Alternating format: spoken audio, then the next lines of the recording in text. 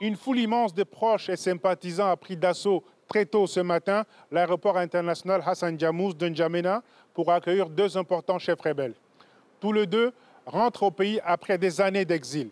D'abord Timan Erdimi, chef de l'Union des forces de la résistance, UFR, arrivé lui très tôt dans la journée, suivi trois heures plus tard par le général Maman Nouri, chef de l'Union des forces pour la démocratie et le développement, UFDD.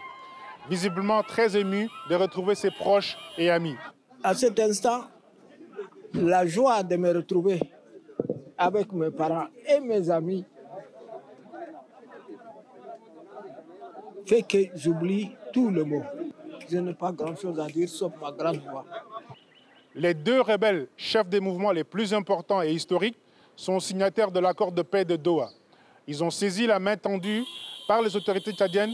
Ils sont rentrés pour participer au dialogue national inclusif et souverain qui doit s'ouvrir dans deux jours en N'Djamena. Tous les deux entendent participer à la reconstruction du Tchad. Ce sont deux figures importantes ici. Pour rappel, les deux chefs rebelles, Timan Erdimi, neveu du maréchal Idriss Déby, du défunt maréchal Idriss Déby, et le général Maman Nouri, ancien ministre de Défense de Déby, ont conduit une colonne armée qui était arrivée aux portes de N'Djamena avant d'être repoussée en février 2008.